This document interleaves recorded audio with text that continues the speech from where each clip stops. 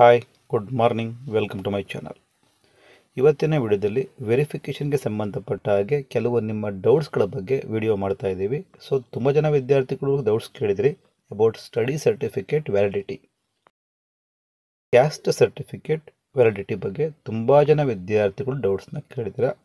ಇವತ್ತಿನ ವಿಡಿಯೋದಲ್ಲಿ ಅದರ ಬಗ್ಗೆ ಡಿಸ್ಕಸ್ ಮಾಡೋಣ. ಸೊ ಫಸ್ಟ್ ಸ್ಟಡಿ ಸರ್ಟಿಫಿಕೇಟ್ ಕೆಲವು ವಿದ್ಯಾರ್ಥಿಗಳು ಡೌಟ್ಸ್ನ ಕೇಳ್ತಾ ಇದ್ರಿ ಅಬೌಟ್ ಸ್ಟಡಿ ಸರ್ಟಿಫಿಕೇಟ್ ಬಗ್ಗೆ.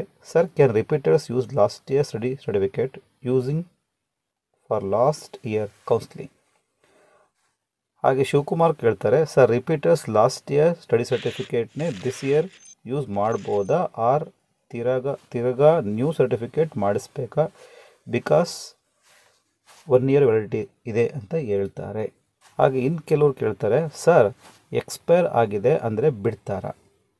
ಸ್ಟಡಿ ಸರ್ಟಿಫಿಕೇಟ್ಗೆ ಹೇಳೋದಾದರೆ ಇದಕ್ಕೆ ಯಾವುದೇ ರೀತಿ ವ್ಯಾಲಿಡಿಟಿ ಇರೋದಿಲ್ಲ. ಸ್ಟಡಿ ಸರ್ಟಿಫಿಕೇಟ್ಗೆ ಎಕ್ಸ್ಪೈರ್ ಡೇಟ್ ಇಲ್ಲ. ಬಟ್ ಕ್ಯಾಸ್ಟ್ ಹಾಗೆ ಇನ್ಕಮ್ ಸರ್ಟಿಫಿಕೇಟ್ಗೆ ವ್ಯಾಲಿಡಿಟಿ ಇದೆ. ಕ್ಯಾಸ್ಟ್ ಮತ್ತು ಇನ್ಕಮ್ ಸರ್ಟಿಫಿಕೇಟ್ ನೀವು ಲಾಸ್ಟ್ ಇಯರ್ ಮಾಡಿಸಿದರೆ ಅದು ಈ ವರ್ಷ ನಡೆಯಲ್ಲ. ಈ ವರ್ಷ ನೀವು ಮತ್ತೆ ಹೊಸ್ದಾಗಿ ಮಾಡಿಸ್ಬೇಕಾಗುತ್ತೆ. ಬಟ್ ಸ್ಟಡಿ ಸರ್ಟಿಫಿಕೇಟ್ ಲಾಸ್ಟ್ ಇಯರ್ದೇ ಇದ್ದರೆ ಅದೇ ಸಾಕು. ಮತ್ತೆ ಹೊಸದಾಗಿ ಮಾಡಿಸೋ ನೆಸಿಟಿ ಇರೋದಿಲ್ಲ.